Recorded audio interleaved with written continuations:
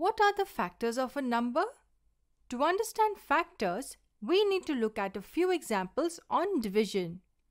If we divide 24 by 4, we get the quotient as 6 and the remainder as 0.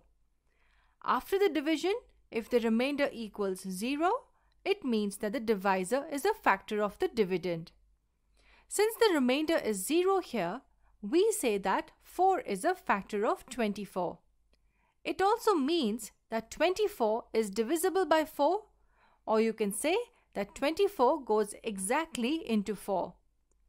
In short, the factor of a number is an exact divisor of that number.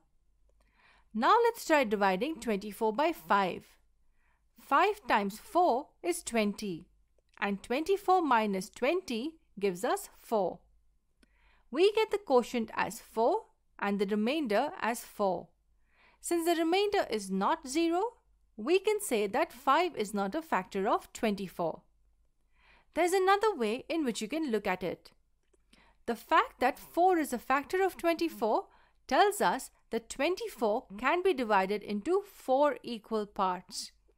And the fact that 5 is not a factor of 24 tells us that 24 cannot be divided into 5 equal parts. But what if we want to find all the factors of 24? We cannot try dividing 24 by all numbers and see if we get the remainder as 0. There is another way in which we can find the factors of a number. We see that in the next video.